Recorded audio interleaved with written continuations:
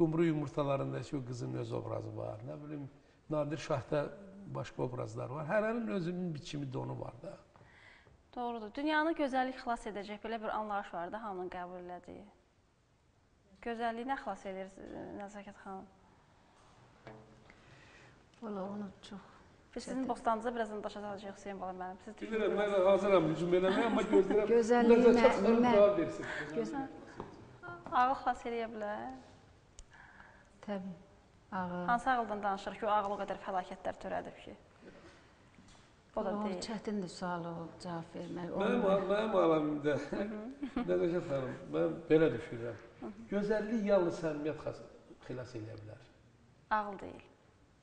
Ağıl, ümumiyyətlə ağıl soyuq bir, mən ağlı, ağıl olan yerdə belə bir insanda bir dəymə düşərlik yaranır. Bunu eləmək olar, bunu eləmək olmaz. Bu ağıl lazımdır, demirəm ağlı bitirməlisən, amma insanda ruh olmalıdır. Ağıl çərçivə yaradır. Mən belə başa Ay düşürəm. sağ ol, ağıl çə. İnsanda bir ruh olmalıdır. İnsanın içində bir hiss olmalıdır. O hiss nə bilim sevgiyə çevrilməlidir, o məhəbbətə çevrilməlidir, gözəlliyə çevrilməlidir. Bilirsiniz, ağılla e, fikirləşirsən, yox bu olmaz, ayıbdır. Bəli. Nə bilim, olmaz, ayıbdır. Amma hesab edirəm ki, mən ümumiyyətlə o sözə mənim belə bir öz əlavəm var. Valla gözəllik mən deyərdim ki, lap belə boş gözəllik olsun, riyakarlıq, yalan, fırıldaq, dünyanı bassın. O gözəllik heç vaxt dünyanı xilas edə bilməz. Mən hesab edirəm ki, dünya başdan ələ səmimiyyətlə dolu olmalıdır. O səmimiyyət bəşəriyyəti də, insanlığı da, və o gözəlliyin özündə, ağlın özünü də səmimiyyət xilas edə bilər.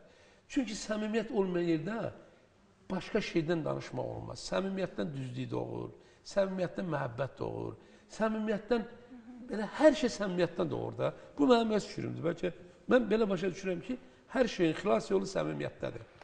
İnsan təkcə e, maddi cəhətdən kasıb olmur ki, Hüseyn Bala müəllim. Siz yazarlar, e, ruh adamları daha yaxşı bilərsiniz. Bir mənəvi kasıblıq da var. Gəlin toplum şəkildə bir baxaq. Çünki sizin ziyalı fikriniz bizim üçün çox önəmlidir. Çünki ondan biz dərs götürürük. Sizdən fikir alırıq, qənaətimiz olur, çıxarışlarımız olur bu mənada. E, hansı belə deyək də hissdədir siz bayaq öncə bir neçə hisslərin adını çəkdiniz, məcmusun e, topladınız düşüncələrinizlə. Kasıblığın daha çox çəkirik bu gün. Hansı hissin kasıblığını daha çox çəkirik? Mənə elə gəlir ki, bəzən deyirlər, Çünki- e, soyuq dəymələr e, oldu, e, açıq havada gəzdim, nə bilim soyuq hava belə getdi. Amma elə gəlir ki, fikrin, düşüncənin də bir soyuqlaması var. Yəni ondan doğan Mən xəstəliklər də var. deyim də, bu gün mən deyərdim ki, bütün o mənəvi xəstəliklərin, bütün o səmimiyyətin, bütün o doğruluğun, insanlardakı ün- ünsiyyətin qabağını alan bir şey varsa o da laqeydlikdir. İnsanların bir-birinə laqeydliyi, insanların soyuq münasibəti. O rəhmətli Məmməd Arazın bir şeiri var, məndən ötü sənə dəydi. Yəni ki, laqeydlik qədər çox üzr istəyirəm ifadəmə görə şərəfsiz bir hiss ola bilməz. Laqeydlik olan nə bilim Bu gün siz daha çox müşahidə etdiyiniz o hissi deyirsiniz. çox, çox, İnsanlar bir-birinə çox laqeyddir. Çox. Çox. Mən doğrudan çox laqeyd, bir riyakarlıqdır, laqeydlikdir, baş alıb gedir. Milli mənəvi dəyərlərimiz deformasiya uğrayır. İnsan yalnız və yalnız gərək düzgün, dürüst, ataların bir misalı var. Deyir, ən böyük güclük düz, düzlükdür. Yəni o riyakarlıq, yalan, bunlar çirkabdır da. Amma çox təəssüf ki, indi cəmiyyətdə, cəmiyyətdə bu, bu dediyim məsələlər daha öndədir. Nə yazıq ki, belədir. Nicat yolu nə qədər var ya yoxdur. Nicat yolu bilmirik. bilirsən nədədir? Bax sizə inandırım ki, bax yenə deyirəm, mən təkrar edirəm. Yazılarımda, intervyularımda demişəm, yenə deyirəm. Bizim Qarabağ torpaqları var. e. Sizi inandırım ki, biz də onları alacağıq biz. Keçdi tarix boyu elə müharibələr olub ki, 100 il gedib, 100 il. Sonra o haqlı tərəf qalib gəlib. Biz də mütləq qalib gələcəyik, torpaqlarımızı alacağıq. Amma bəs bizim itirilmiş, itirdiyimiz milli, mənəvi dəyərlərimiz, bizim əxlaqımız, bunları kim qaytaracaq geri? Deformasiyaya uğradı, qutardı, getdi də. Doğru. Çat verdi, qutardı, getdi də. Bunları qaytarmaq çox çətindir. Mən hesab edirəm ki, mənəvi dəyərlər uğrundakı mübarizə, savaş, Qarabağ uğrunda savaşdan daha kəskin, daha ağır olmalıdır, daha sərt olmalıdır. Mən belə başa düşürəm. Doğrudur. Mən yeri gəlmişkən, gəlin sizin ya tamaşalardan, ya ə, filmlərdən birin rejissorumuz Sevinç xanımdan xahiş eləyək. İndi bu dəqiqələr üçün tamaşaçıların göz önünə gətirsin. Daha sonra bir musiqi nömrəsi ilə davam eləyək. Daha sonra söhbətimizlə. Buyurun. İşte əlləş mübarizə apar. Qohum qardaş itir. Axırda da adın olsun. Qaçqın. Didərgin. Hey. Balon xəstələnsin. Dərman almağa 5 manat pulun olmasın.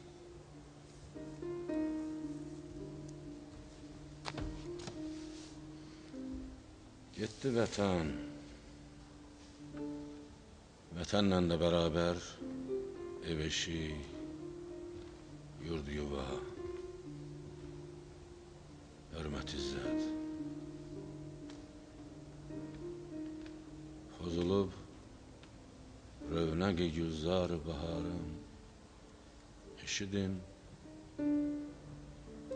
Qalmayıbdı tükənib leyli naharım Eşidin Dağlayıbdı mənə bir. Lalə üzarı Qarabağ Yandırıbdı məni bir. Nar nigarı Qarabağ Qarabağ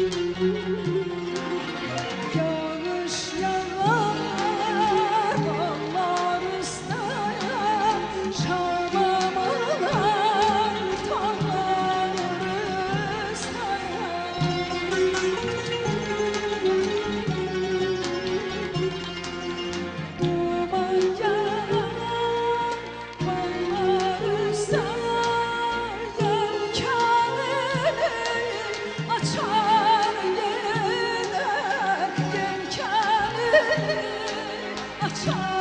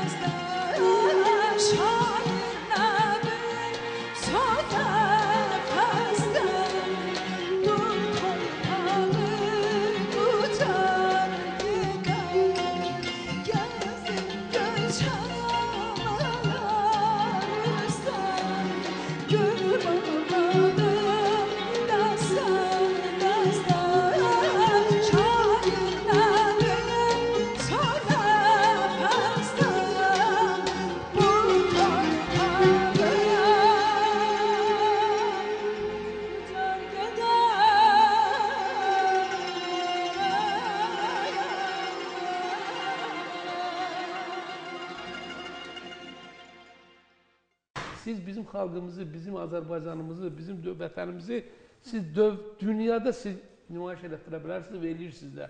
Doğrudan çox sağ olun. Çox təşəkkür Bu edirəm sizə. fikirlər yaşlı dramaturq millət vəkili Hüseyn Bala Mirələmovun Təşəkkür düşüncələri edirəm. idi. Sağ olun. Çox sağ olun. Bir şirin sağ dilə bəndəm. Doğrudan da Çox gözəl. Buyurun. Mən e, öz e, heyətimiz musiqiçi dostlarımı istəyirəm təqdim eləyəm. gözəl. Əməkdar artist Əlağa Sədiyev, Udda Qalib Haşimov, kamançada Elnur Mikailov, ondan sonra Çinarə xanım var. Çinarə xanım, Allah var eləsin. Eyvaz qardaşımız, Qoşa Nağarada, Kamran Kərimov, Nağarada. da, Nağarada, sintezatorda da. sintezatorda Valeh qardaşımız bu gün Hər bizim birinizə şahid. çox sağ olun. Mən onlardan enerji alıram. Əlbəttə ki, almasan da az öncə söylədiyi Bu 50-50-yə Rahat də musiqiçilər. Burada vallahi elə oynab elə dilxor nə mənada belə bir qəribə bir his girmişdi içimə. Bala Uçmaq istəyirdim. Lənkərandan düzdür oxuyanlar açıq. Yox, nə dəxli var? Söhbət Lənkərandan, Şəkidən, Qarabağdan getmir ki. Söhbət o musiqinin insana təsirindən gedir. Onu demək istəmirdim. Nə demək?